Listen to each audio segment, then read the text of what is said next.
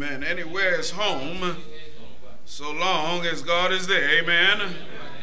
Amen. We sing it, do you understand it? We sing it, do you believe it? Amen. Anywhere is home if, if Christ is there. Amen. That ought to be our, our mindset, especially this morning. Amen. God is truly wonderful. It's good to be here. I hope everybody had an excellent holiday, excellent Thanksgiving. Um, certainly, certainly, certainly during this time, it's a little hard for some, harder for others, as tragedy has struck this past Thanksgiving season, um, and even some from previous Thanksgivings. But it, it, it's important for us, Lord have mercy. If anything, Thanksgiving helps us to take a moment just to recognize what God has done in our lives. Amen. Ain't a lot of amens on that. But God has done a lot for us. So we ought to take a moment just to say thank you. Thank you. Thank you. Ah! See, I was going somewhere. I see y'all's paying say amen, amen. But we ought to just say thank you. Yes, sir. That's, that's, uh-huh. Well, well, certainly, certainly, certainly, certainly. It is a blessing to be here. I had said it earlier during our prayers, but certainly keep Sister Devon in your prayers. Uh, uh, as Brother Ron Johnson, he had passed away last week, um, peacefully in his sleep. Now, I should let you know there will be no funeral. Um, uh, he was uh, cremated or was to be cremated, uh, but the entirety of his family was coming for Thanksgiving, and so they had set aside that time and said, "We're going to celebrate his life. We all together anyway." Um, and uh, if I could, if I could, if I could, uh, if I could just share a personal note, brother Ron, I, I loved him dearly when I the, when I came here September 2015. Uh, right before August, if y'all remember, we had that rotation, and the last time I was here, part of that rotation, I said, uh, "Today is my last time preaching here as a visitor." And brother Ron, he just he just and I'm like, what was that about? Then after he walked up to me, he started crying. He said, I thought you were never coming back again. I was, I was, I'm like, you know, that brother, brother Ron was all right. He had jokes, many jokes, plenty, amen. Um, some I won't share right now, but but some, uh, uh, just even in how he said he was going to go out. But brother, brother Ron always has some great jokes, and he'll certainly be remembered for those good times, amen. And that's exactly what we need to hold on to uh, for our brother. If you have your Bibles. You should have your Bibles if you turn to the scripture that was read to your hearing. Psalm 1. Psalm 1. I'll be reading from the New American Standard Bible. Scripture is on, uh, on the screen as well. Psalm 1. Six verses. I said I was going to be a, a, a less of a burden bearer to Brother Iran Holmes. Last week I said Psalm 136, and he read the whole thing. I said, I'm going to just give you six verses today. Amen? Amen. Amen. Psalm 1, beginning at verse 1. Let us, let us examine the word. The Bible says, How blessed is the man who does not walk in the counsel of the wicked, nor stand in the path of sinners, nor sit in the seat of scoffers. But his delight is in the law of the Lord, and in his law he meditates day and night. He will be like a tree firmly planted by the streams of water, which yields its fruit in its season, and its leaf does not wither. And in whatever he does, he prospers. The wicked are not so. They are like chaff which the wind drives away. Therefore, the wicked will not stand in the judgment, nor sinners in the assembly of the righteous. For the Lord knows the way of the righteous, but the way of the wicked will perish. And all God's children say, Amen. Amen. Amen.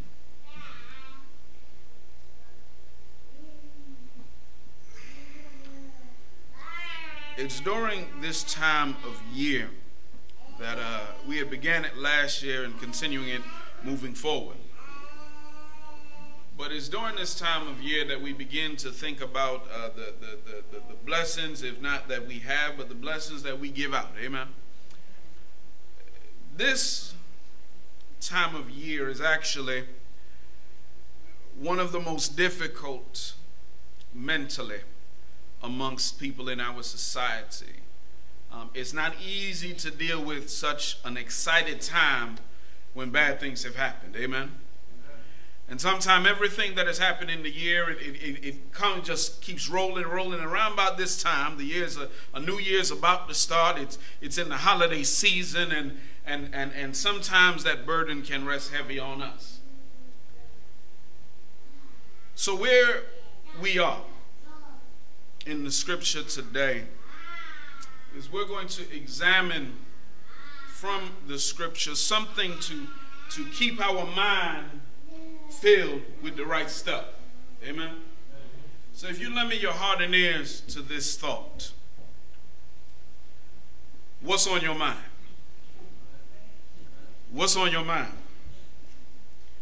Amen? What's on your mind? One of the things I've learned as, as time has gone on is, is, is what's on your mind comes out. Amen? And how you conduct yourself and how you speak, it all comes out. What's on your mind, what sits on your mind comes out. Amen? So, so we are today completing our series or finalizing our series on spiritual disciplines for sanity. Amen. My hope with this series has been that we would take a serious or take serious the various threats to our peace of mind that are naturally occurring and that we implement those spiritual remedies that would cause us to retain our mind in those stressful and those trying situations. Amen.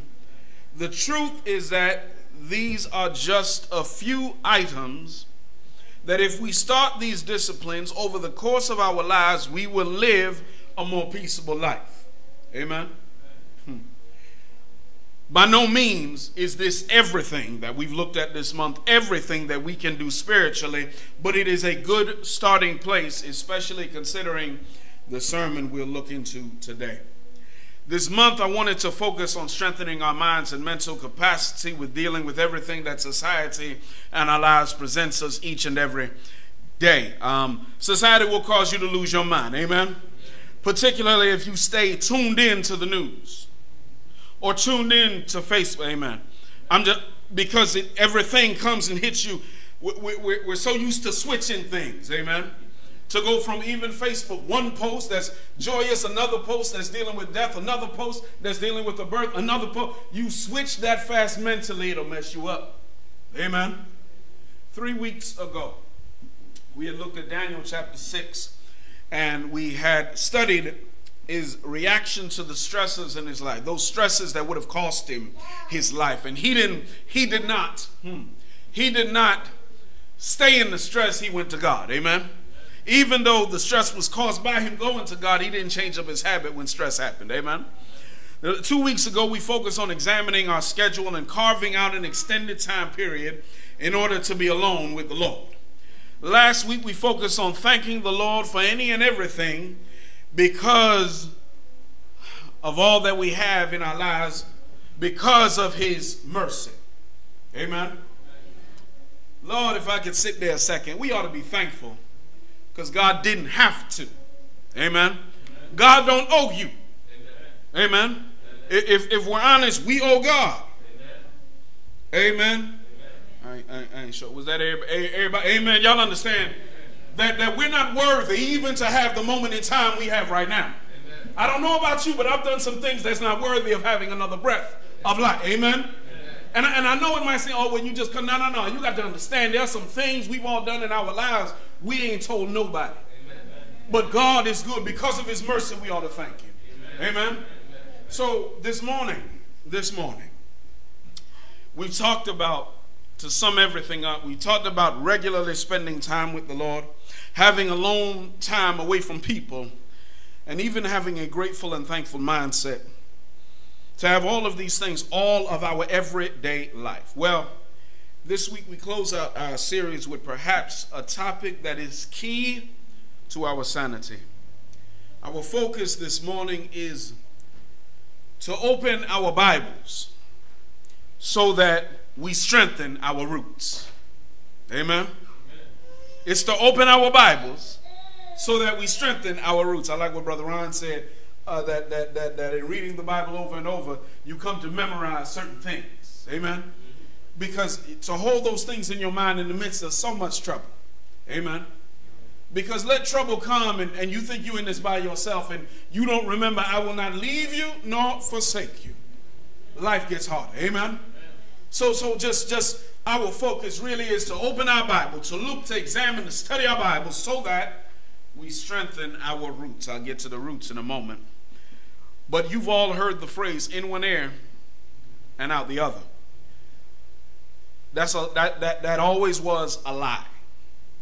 It never was true. In one ear, out the other.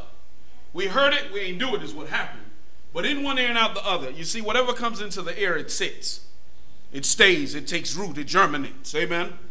So if you're reading, hmm, I got my network marketers in, in the house.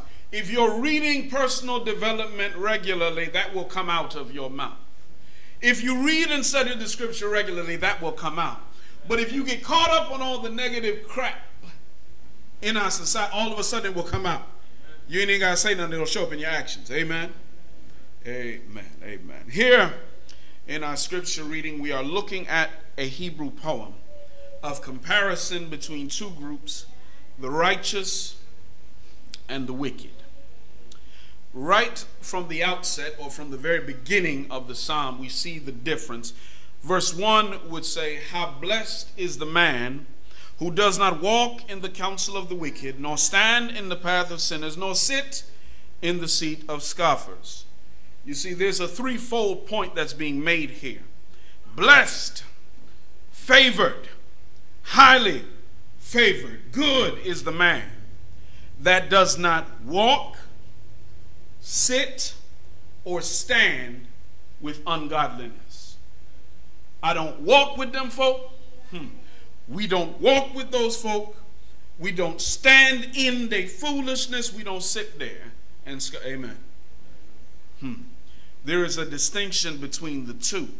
The blessed man doesn't hold party with wickedness. Amen. The blessed person doesn't hold party with wickedness. We're going to come there in a second.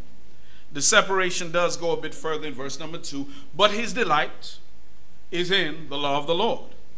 And in his law he meditates day and night. His delight isn't with the unrighteous, but it's in the Lord. Specifically his Torah or his law, his commands, his direction.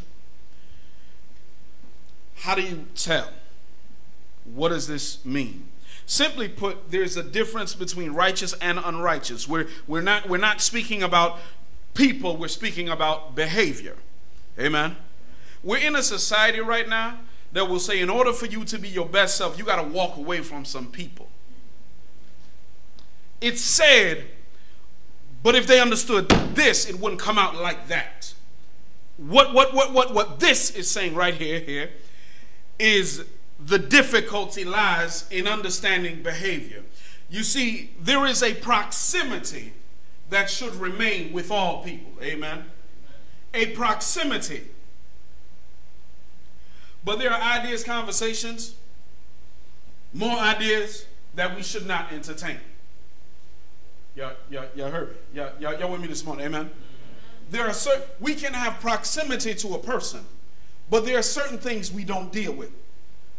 For example, Thanksgiving took place. Now, y'all be honest. Y'all look me right in my eyes and y'all be honest. It was some family members you didn't want to see this year. All of y'all laughing because it was some family members y'all didn't want to see this year. Some of y'all done got bothered by that fact. Every time I go there, they finish the cranberry sauce before I get to it. Amen. Amen. It's just me. Amen. It's, it's some folk you might not have wanted to see. They family. You cool with them. You good with them. But but but you you you keep you keep a little bit of di- amen. You keep a little bit of distance because you don't want to hear certain things. Amen. We we all got folk in our we all got folk in our family. We all got friends that if you're going through something, you don't go around them. Because it just make you feel worse. Y'all, been there? There are some, con- there are conversations, ideas, thoughts none of us need to be around or entertain. We can be in proximity to the person. What does that mean? It means that there are some people we can be near, but the moment they start with the foolish, hey, hey, hey you know, I, I, really can't, I can't hear that right now. Love you, but I can't, I can't hear that right now. Amen. Because just as much as we read and just as much as we study, what people say around us, in the air, it sits here. If it is negative, sits here, eventually you will find yourself. Amen. That's why, and I mean not to disrespect anybody, I personally don't like hearing about soap operas. Because ain't nothing great in a soap opera. It's drama, drama, drama, drama, drama, and trauma. Y'all know what I'm talking about. Being sold that type of ability. That's why I don't necessarily like Shonda Rhimes TV shows. Oh, y'all ain't heard me. I find it interesting for a person who's never been married, every time marriage is introduced in a show, nothing positive is about it. Scandal, y'all remember Scandal? Be honest, be honest, be honest. Ain't nobody gonna judge you, but be honest. Y'all seen Scandal? Olivia Pope, Papa Pope. Y'all know what I'm. Oh, y'all know. Y'all okay? Okay. It's just me and Dominique that was watching Scandal. Yeah, I just put my wife on black. But but but but it's just us that was watching Scandal and Grey's Anatomy. Every marriage that was there, something negative happened, and all of a sudden, certain things were permissible, like cheating. It happened long enough, it's in your ear long enough. The effect, I'm going to go back to the sermon. But y'all understand what I'm saying. You can be near a person, you can be close to a person, but you don't have to tolerate certain ideas and statements. Amen? So here, the difference between the righteous and the unrighteous is actually made clearer in the second half of the psalm. Verses 4 through 6 would say, The wicked are not so, but they are like chaff which the wind drives away. Therefore, the wicked will not stand in judgment, nor sinners in the assembly of the righteous. It, it, it, they, they, they, they, won't ride, mm, I, they, they won't stand with us. But if we stand with, yeah, yeah, yeah, yeah, there's a difference here. Sinners will not sit in the assembly of the righteous, but we, some righteous will sit in the seat of, and y'all, y'all hear what I'm saying? For the Lord knows the way of the righteous, but the way of the wicked will perish. The wicked is the opposite. They go with the wind. They are like chaff which the wind drives away. Now, if you know anything, if we could talk horticulture, well, farming for a moment, you would take from the threshing floor you would take up with a pitchfork. Anybody ever been to a farm? Uh, okay, it's cool, it's cool, go ahead. But you take it with a pitchfork, dig into a huge mountain. When the wind is blowing, you take it and you throw it up. And chaff would fly away with the wind. But the statement there is they're like the chaff driven by the wind. So if the wind says go this way, they that way. If the wind says go this way, they're that way. They go, whichever way the wind blows, they go on that way. Amen. Y'all, y'all, y'all with me this morning? But, but he, he introduces this, and this is Lord Jesus' imperative for us to grasp. The big difference between the righteous and the wicked is not something that is based on character or attitude, but it is based upon resource. It's another farming term. Verses 2 through 3 would say, But his delight his pleasure is in the law, the instruction, direction, and commands of the Lord. And in his law, he meditates day and night. He will be like a tree firmly planted by streams of water, which yields its fruit in its season, and its leaf does not wither, and in whatever he does, he prospers. Hmm. The righteous person delights in the law of the Lord. But referring backwards for a minute, righteous people won't tolerate certain conversation. Amen. They're not excited by that type of conversation. They're not anxious to get involved with that kind of conversation or drama. But he or she gets excited and anxious at where the Lord is leading them. Amen. But that's not the biggest piece of the puzzle that we're examining today. The latter part of verse 2 is where we find our minds shifted. The latter part of verse number 2 says, And in his law he meditates day and night, all the time. Hmm. The result, the point of this morning's sermon, is actually found in verse number 3. Verse 3 says, He will be like a tree firmly planted by streams of water which yields fruit in its season and its leaf does not wither. And in whatever he does, he prospers. Lord have mercy. We sing the song. Y'all know? Glory, hallelujah, I shall not be moved. Anchored in Jehovah, I shall not be just like a tree that's planted by the water. I shall not be. We sing it, but do we understand it? Firming is what we're talking about. Many times we sing the song, or even we come to this psalm, and we'll, we'll, we'll sit for a moment and we'll talk about the tree being planted, but not the tree's location, the depth of that. You see, in farming, in farming, you have to have some type of channel of irrigation. If you go out to the Midwest and see the lands that are being farmed, you'll see a setup like this. It goes up and down the entire field and it waters all the crops. Why does it water the crop? Because without water, it dies. Y'all heard me this morning. You ever wonder why Jesus says in John 4 that I will give you water but water will spring up inside of you like a well of life. There's a source he's talking about, a resource that we need to be connected by. In the same way, if we don't have water, if we don't have proper water or proper irrigation, then how in the world can we survive? Let me let me let me let me drop something here if y'all don't mind a moment. You see,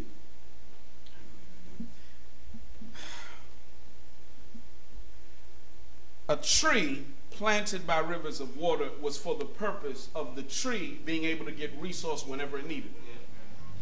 So they would plant it by a stream or a river of water so that they don't have to worry about it getting water. If it's a famine, there's a stream there. It can still hold on to its strength. Y'all with me? It can still hold on to its strength.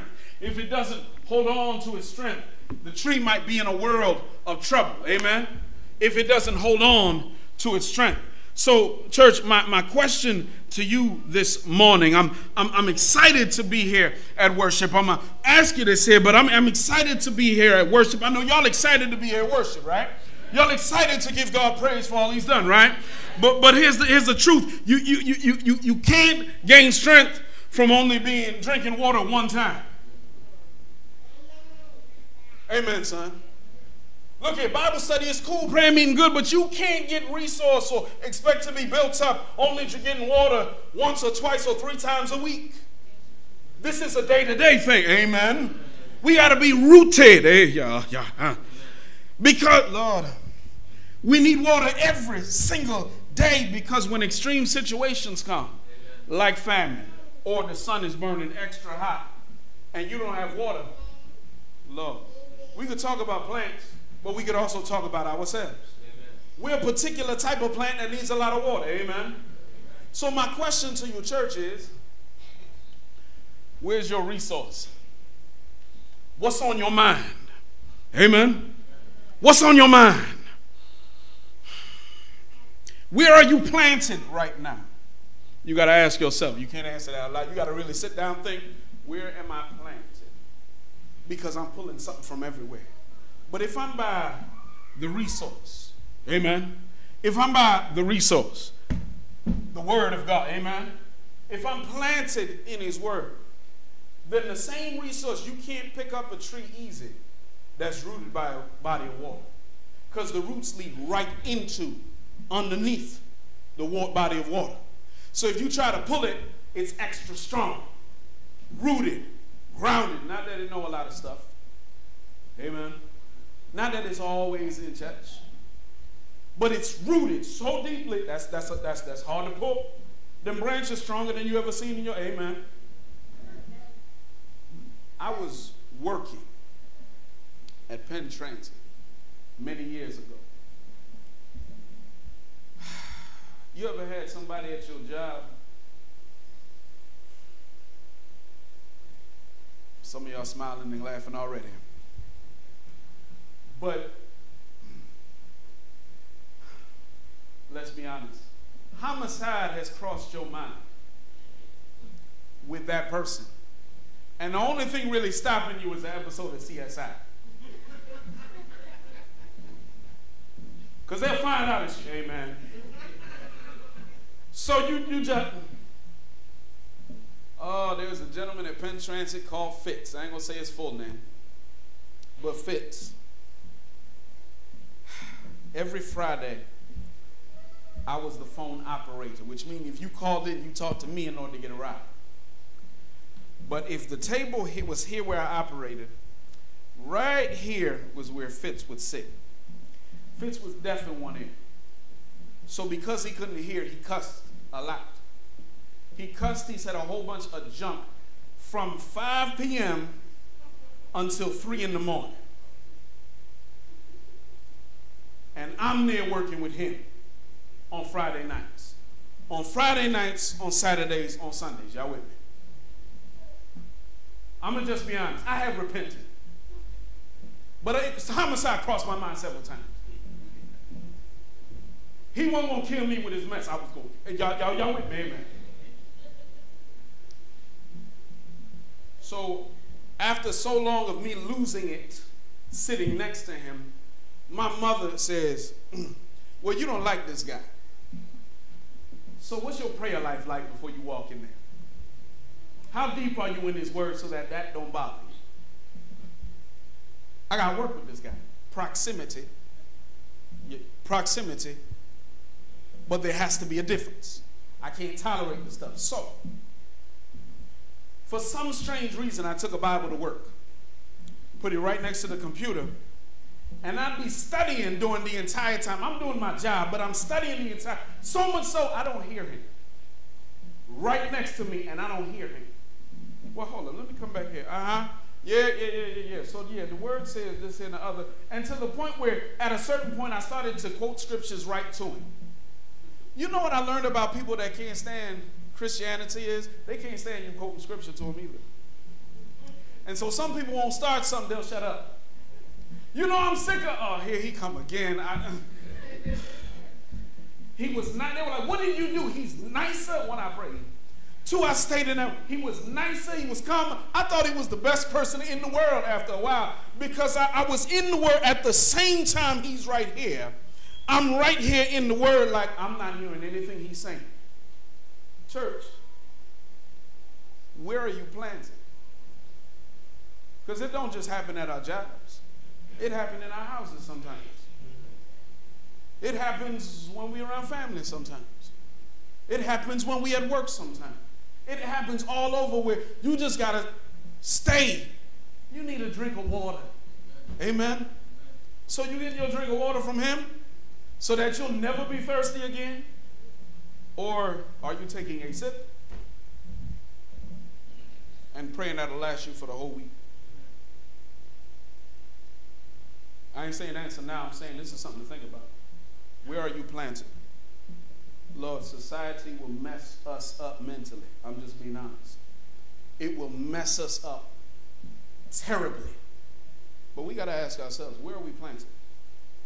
Are we planted by the river of water? Are we deeply rooted so that our resource comes from Christ Jesus? Amen?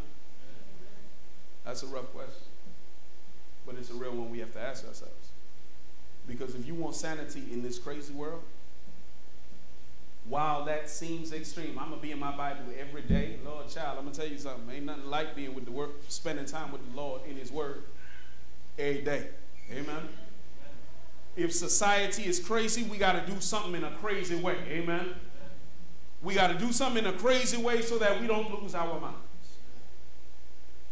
It won't make sense to many of our friends. It won't make sense to some of our families. It won't make sense to folk we work with. But Lord Jesus, it is necessary of everything that we've discussed this month, of everything going on in society, Lord Jesus, why don't we rely on Him to give us what we need to be able to deal with everything that's around us? Amen? That's my word this morning. I hope it's a blessing to you. I hope this entire month has been a blessing to you. But it's really is take this, apply it, run. Run hard with your cross. Amen. Follow Jesus with your cross. Run hard, but make sure you still you drink your water. Amen. Because if you exercise, certainly you need more water than most. Amen. Amen. That's my word. Listen, if you're here, and, and, and the truth is, if, if you are here, and that's not been your habit these past couple weeks, months, what have you, I, I, Lord, I, I say it so often, I don't want it to be thought of as just something to say. Today is day one for you. Amen. Today is the day to start over and say, No, I need to stick it out with God. Amen. Today is the day. If not today, when? If you're not a member of the Lord's church, if you've not obeyed the gospel, if not today, then when? Why not come to Jesus right now? Why not? It's in your mind. Why not come to him today? Why not do as his word would say, believe and be baptized for the remission of your sins? Why not repent? Repent. Turn away from everything you've done without him and start to live a life with him. Amen. Lord Jesus, some of us that have already obeyed the gospel, Lord, we need to repent and get back in line. Amen. I'm not saying like like I'm, I'm saying all of us, me included, me especially. All of us need to take a moment to say, hold up, let me get back on. Amen. That's my word for you today. We're going to stand and sing a hymn of invitation, give you the opportunity to come to obey the gospel or even to repent and to rededicate your ways to following Christ. Why don't you come as we together stand?